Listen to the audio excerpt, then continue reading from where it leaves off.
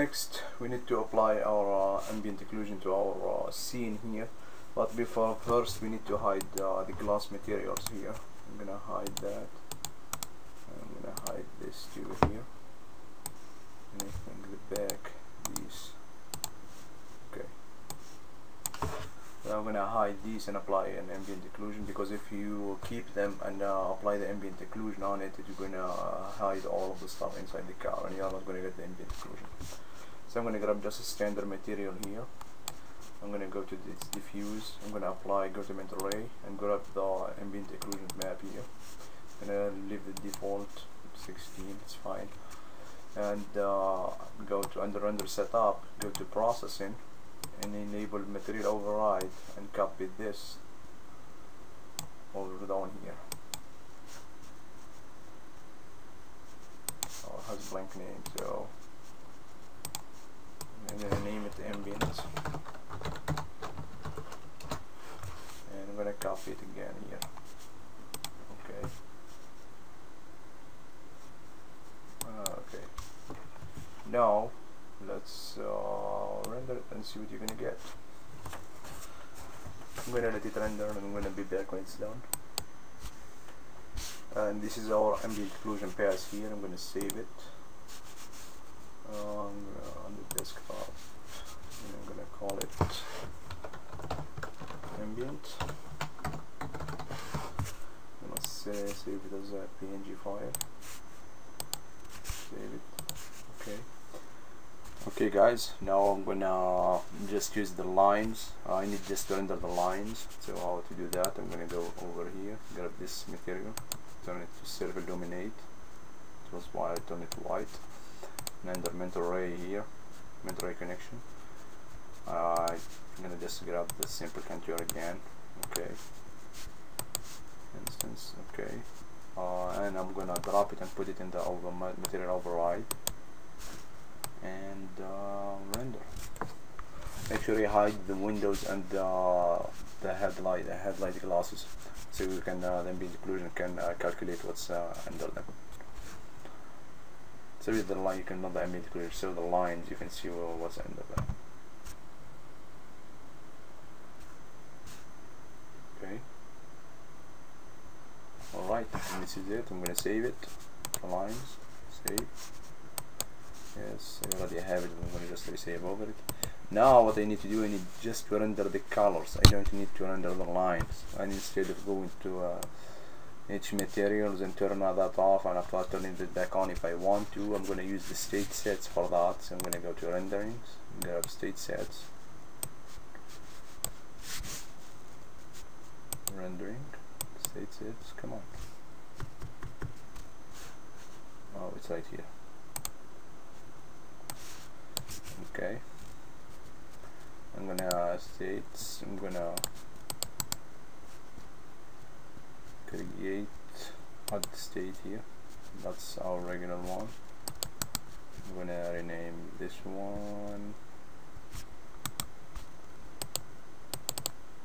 I'm gonna rename it this one color with lines. Okay. And then I'm gonna create another one. I'm gonna rename this one here. This colors just color okay make sure you, uh, you push the begin record recording state so you can record the change that you do in your scene. I'm gonna record. Okay. First of all I want to disable this one here. Second I want uh, under the renderer I need to disable the, the contours and now go to the materials. And each material I need to disable the contour for each materials I'm gonna just go to the the other uh, state set here. The other materials view.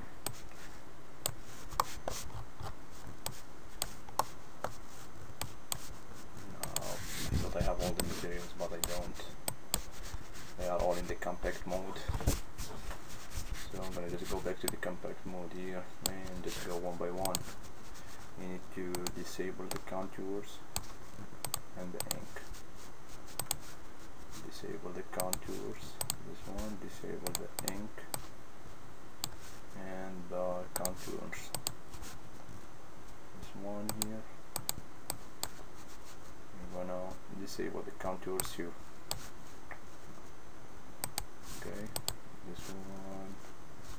We already did this one I think okay this one ink I'm gonna let you guys go through uh, watch me doing this. I'm gonna just pause it very quick. Okay after when I disabled all of those I'm gonna close it and I'm gonna turn off the recording here. Now let me try to render and see what you're gonna get. Render select state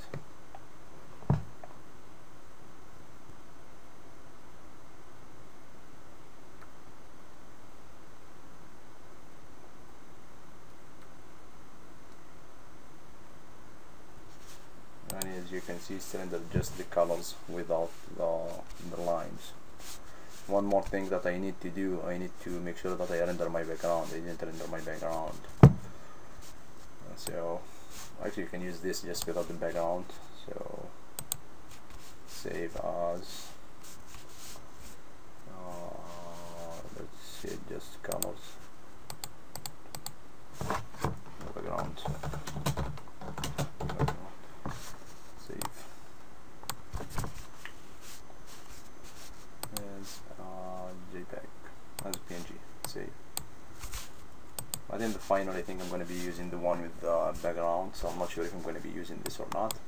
But anyway now you got all the pieces that we have. We need we have the, the colors we have the light we have uh, we have the lines we have the ambient occlusion and we have the beauty render if we need it I don't think that we will use it but we have it there. So uh, after this we're gonna head down to uh, Photoshop and composite all uh, those renders together and see our final result. Thank you okay guys now we are in Photoshop. I got my uh, layers here. I got uh, the color layer. I got the ambient occlusion and I got the lines. First of all here I'm gonna try to lighten up my uh, ambient occlusion. It's kind of just too dark. I think that should be enough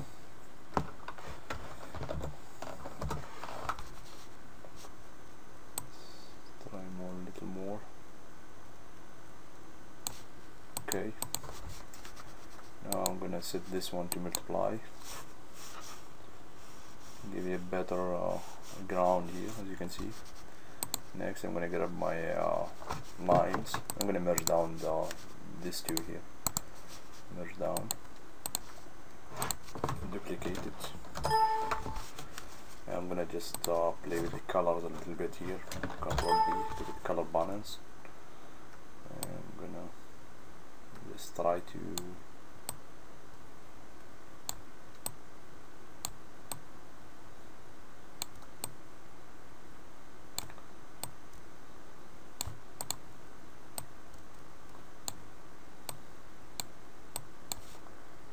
click OK I'm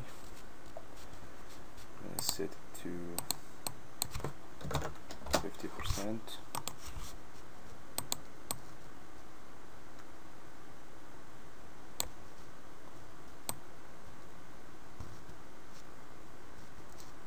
That's it. Okay. Alright. Next, I'm gonna grab. I'm gonna merge those down. Merge down. And I'm gonna uh, do something with my uh, my lines here. They're a little bit too dark too, so I'm gonna come on. I'll try to lighten them up too.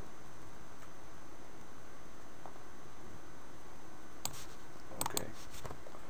I'm gonna sharpen them. Image adjustment. No, it's under the filters. I'm gonna sharpen. Smart sharpen here. I'm gonna sharpen them quite a bit.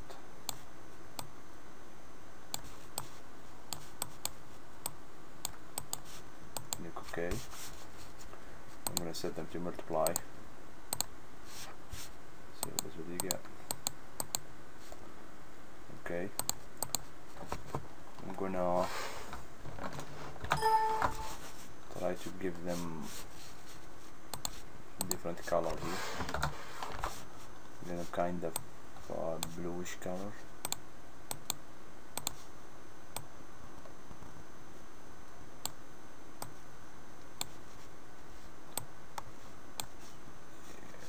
no, this is a little bit too heavy.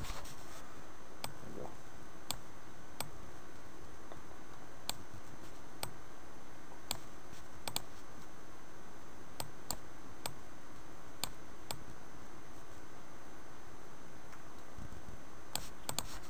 Okay.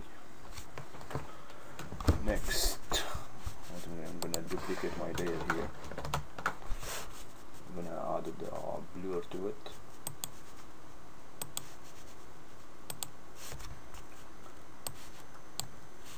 One point six is fine.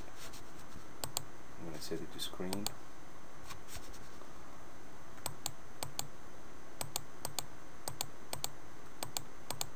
Okay, and I'm gonna lower it down a little bit. C64.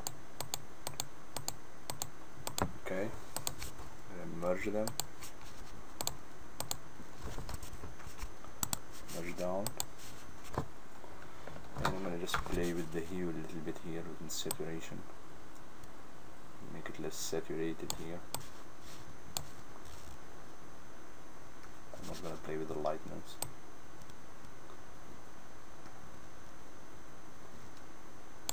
Okay. And I'm gonna my all my layer now. Merge down. Come on, merge down. And I'm gonna go to filters, uh, lens corrections here. And I'm gonna just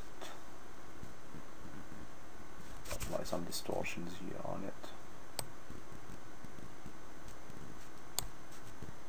I'm gonna apply some vignette.